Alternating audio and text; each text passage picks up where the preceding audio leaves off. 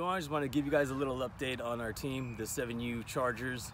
Um, the kids are responding really well to the coaches. Um, we're focusing on getting them to focus on discipline and being more disciplined.